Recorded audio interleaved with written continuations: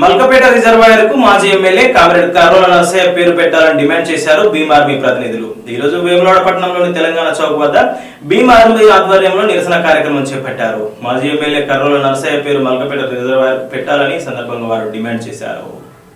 వ్యతిరేకంగా రజాకారులకు వ్యతిరేకంగా పోరాడేటువంటి తెలంగాణ సాయుధ పోరాట యోధుడు కరుణ నరసయ్య.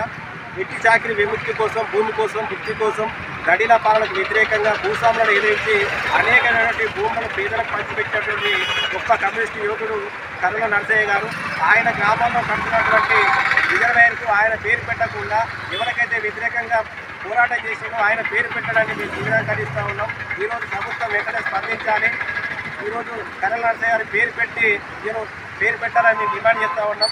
లేని పక్షంలో ఖచ్చితంగా అఖిలపక్ష అఖిలపక్ష పార్టీలుగా ప్రజా సంఘాలుగా పెద్ద ఎత్తున ఉద్యమాలకు పిలుపునిస్తామని హెచ్చరిస్తూ ఉన్నాం.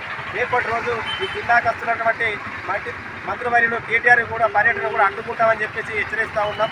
ఈరోజు పేదల పక్షంగా కార్మికుల పక్షంగా నిలబడినటువంటి కమ్యూనిస్టు నాయకులు గొప్ప దళిత నాయకులైనటువంటి కరుణ నరసయ్య గారు చరిత్రను కనుమరుగు చేసే విధంగా ఈరోజు పాలక వర్గాలు చేస్తున్నాయి కాబట్టి ఈరోజు మేము తీవ్రంగా ఖండిస్తూ ఉన్నాం. వెంటనే ప్రభుత్వం స్పందించి ఈరోజు కరుణ నరసయ్య గారు పేరు పెట్టాలని చెప్పేసి అఖిలపక్షంగా డిమాండ్ చేస్తూ ఉన్నాం.